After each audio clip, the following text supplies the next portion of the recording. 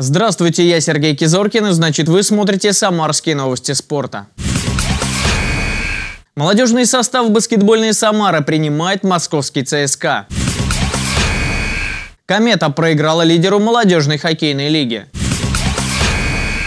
Самарский фехтовальщик выиграл международный турнир. В Москве самарский фехтовальщик выиграл международный турнир. Мемориал двухкратного чемпиона Олимпийских игр Сергея Шарикова проходит уже четверть века.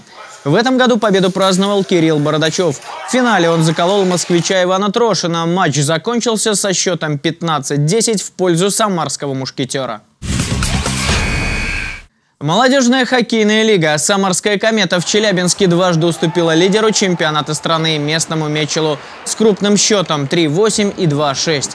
После неудачной серии «Комета» летит на пятом месте из 11. Баскетболисты Самары в единой молодежной лиге на родном паркете принимают ЦСКА. Матчи проходят на арене технического университета – Действующий чемпион лиги армейцы пока не знают поражений в национальном первенстве. Самара пока занимает второе место в турнирной таблице. В активе 6 побед в 8 матчах. Это были новости спорта от Сергея Кизоркина. Будьте здоровы и занимайтесь физкультурой.